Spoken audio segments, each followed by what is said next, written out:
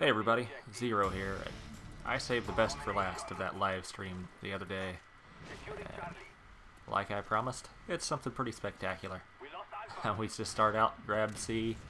I'm covering the little fountain area because I expect him to run through there. And then we just run up and grab B. And pretty much go take our places now. And what is it, we're maybe 25 seconds into the game. And if you look at our team positioning, spawn trapped already. So we keep them like that pretty much the rest of the game. It's it's almost sad, but it's kind of funny to be doing it to someone else and not having it happen to me for a change. I was kind of getting worried yesterday, wondering where am I going to get any more good gameplay. I don't have any more saved up, and what do you know? Fortune smiled down upon me yesterday, and I ended up having another great day. Linked up with opposing force. You probably see him in the comments in some of my videos and he and I just had a two-man party rolling over teams all day yesterday, and I think we lost maybe two games all day, and that was mainly because we had teams that just didn't know what to do at all. And even sometimes when we had teams that we didn't know what to do at all, we still pulled out a win. And then we linked up with Dutchy DC's live stream again and got on a team that was just as good or maybe even better than this team and just proceeded to roll people all night and didn't lose a single game all night. Of course, when you're playing in a team like that, it's kind of hard to get kills, so it's pretty hard to get good gameplay, but I still ended up getting a few games and got a lot of decent clips that hopefully I'll make it into a montage one of these days. Still toying with that idea. I guess the first step would be to find music so I can figure out how to sync everything up and how I want to edit everything, but I'm not exactly sure. So if anybody out there has ever made a montage before and is really familiar with the process, kind of let me know in the comments. Tell me a few good steps to take and how to start out. It's something I'm interested in doing. It's just I don't know where to begin. So I think once I get started on it, things will go kind of easier, and it'll be a really good learning experience for video editing and things like that. I don't know if I have all the right tools or not. I heard After Effects is really good for it, and some people even use Photoshop CS5, but I don't have either of those, so maybe I'll just have to get creative and see what I can do with whatever I have. If I was a student, I could get After Effects for like 300 bucks or something like that. I think it was close to 400, but since I'm not, it's something close to $900. I don't know, I might just have to enroll in a class at community college or something and see if I can get the discount through that. I like taking classes every once in a while. It's always good to keep learning. Continue your education. I graduated from college a long time ago, but there's still so many things I just want to learn and so many things I'm curious about that I just like taking classes when I have the spare time, which honestly really isn't all that often. But I think if I was rich and I won the lottery or something and I had all sorts of spare time, I'd probably spend most of my time traveling, and if I wasn't traveling, I'd probably spend it just taking classes, learning about things, and maybe while I was traveling, maybe I'd take classes in other places and just learn different things. I'm just a curious person. I don't know.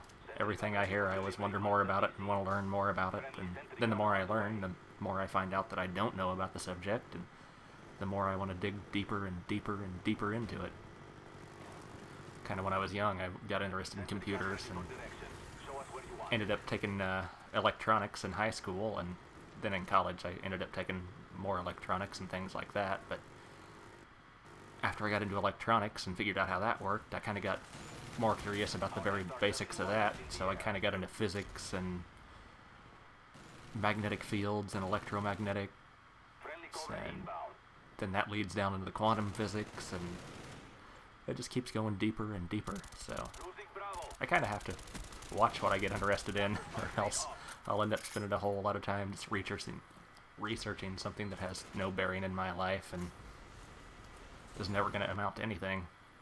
But I think learning video editing would be a good thing. You never know, it could possibly lead to a new career somewhere down the road, which I'd definitely like to have. That damn guy with the flamethrower. That's like the most useless weapon, and I get killed by it can't figure out why it's banned in MLG and some game battles, because it's absolutely useless. So I don't know why they would ban it.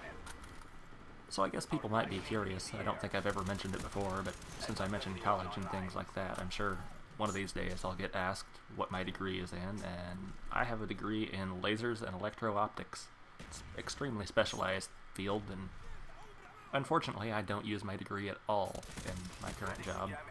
In fact, I have pretty much forgotten everything I learned about electronics and even lasers ever since I got out of college. I mainly do technical writing and things like that now, and I'm a glorified mechanic, really, when it comes down to it. I just turn a wrench and then write procedures for turning a wrench every once in a while, so it's a pretty boring job, but I wish I'd gone into the lasers field because a lot of the people that I graduated with are now, like, senior project managers at, like, defense contractors and things like that. And I thought about doing that, but the job stability and the starting pay at those companies wasn't exactly what I wanted, so I went to a semiconductor company instead, and now I'm really regretting that because a lot of these people that are senior project managers at defense contractors were, you know, graduated very low in the class, just barely graduating, and I graduated, I pretty much had the top grade in the class in every class that I was in. So, hindsight is 2020. I see my mistakes now. And now the company that I work at basically won't hire me for any job above what I'm doing now because I don't have a PhD, which they didn't require a PhD for it when I started, and I thought, you know, I was well on my way to doing it and working my way up the ladder, and I pretty much maxed out where I am, so if I was to switch over to a defense contractor company or something like that, which I probably can't even do that because I forgot everything and don't have really any of the skills that I had anymore because I worked in a really specialized job and really only know how to do one thing anymore, so I'd probably have to start entry level again if I switch jobs, which is really depressing, especially considering I've been at the place I've been at for 11 years, so I have a massive amount of experience and a whole lot of skill that just doesn't transfer very well. So, I guess I made a mistake. It's one thing to keep in mind when you're uh, searching for jobs in the future. Always, uh, always look at what it's going to bring and the opportunities it's going to open up for you because I thought I was choosing a good path. I thought I was doing something that would set me up pretty well for the future because I had good pay, good benefits, everything else, but I didn't really look at where I was going to go from that and what doors that would open for me in the future. I kind of just planned on doing that till I retired, which I don't know why I ever did that. Nobody ever works one job from beginning to retirement anymore. And I started when I was 19, and I'm 31 now, so I'm getting pretty tired of it, especially now that I have nowhere to go. I can't advance, really. Kind of had a conversation with my boss about that this week, and I think he knows I'm looking for other jobs at this point in time.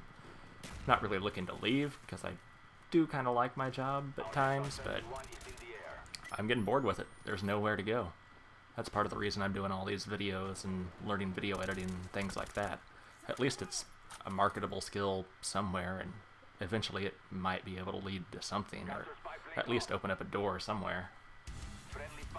But anyway, I bitched enough. That's the video. As you can see, we stomped all over them and just shit on their chest. If you like what you saw, feel free to give a thumbs up, leave a comment. As always, hope you enjoyed. Have a good day. I'll see you around.